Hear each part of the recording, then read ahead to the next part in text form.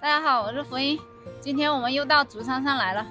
上次跟大家分享了一下我们竹山上新开的这条山路，因为它比较陡。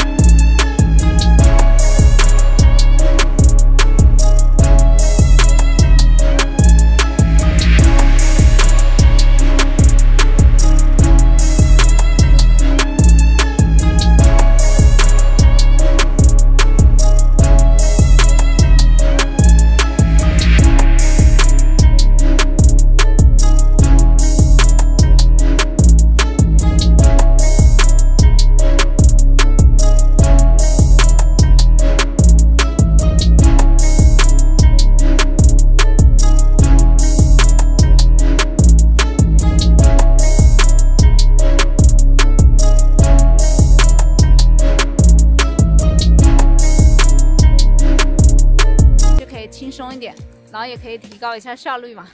这还要谢谢网友们的建议，谢谢你们给我们出主意。